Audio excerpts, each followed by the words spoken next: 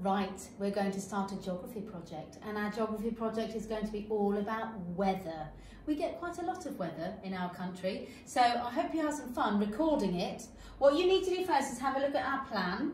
You need to click on this link, it's a YouTube link, and it will take you to the most awesome song all about weather. We'll be singing it at school as well, so get stuck into learning that song because it's really good fun. Then what you need to do is use this link here to go to the Met office. The Met Office is going to show you all about weather. And if you type in Brighton here, it will show you all about how the weather's going to be in Brighton over the next few weeks. You only need to look for this week this week though.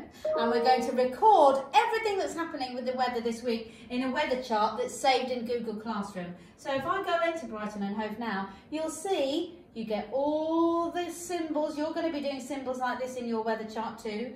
It shows you the temperature, how hot it's going to be. And also, if you click on this button here that says more detail, because you're going to need to know how much wind there's going to be. And the wind is here. This one with a little arrow on it is going to show you how much wind there's going to be and how many miles an hour that wind is going to be blowing.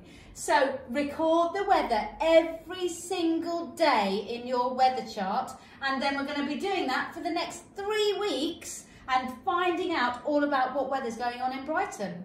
Enjoy your geography learning. So this is what the weather chart looks like if you find it in Google Classroom, or of course you can draw your own. Make sure that you look at these weather symbols. They're the official ones that people use when they're recording weather.